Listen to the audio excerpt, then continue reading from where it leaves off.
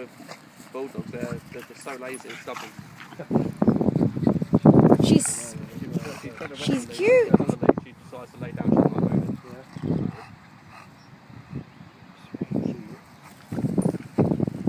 Oh, Coco, you're too fast. Come on.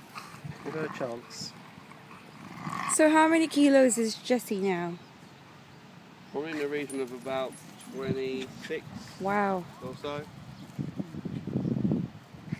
They're pure muscles. Proud dogs. She eats a lot now. Not really. No? Not no. Give, um, we give her a bowl in the morning and we re- refresh it up, freshen it up for uh, dinner. But she won't, doesn't even eat a bowl a day. Really? Yeah. doesn't eat a lot at all.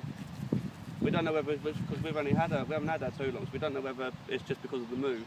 Yeah. That she's sort of still getting used to us Yeah. and, and, you know, the move and stuff. But we got her from. Oh, we she's got her Essex gorgeous. to get. Yeah. So Yeah. you got it direct from the family, not from the like rescue. No, no, I centre? got, got them from another family.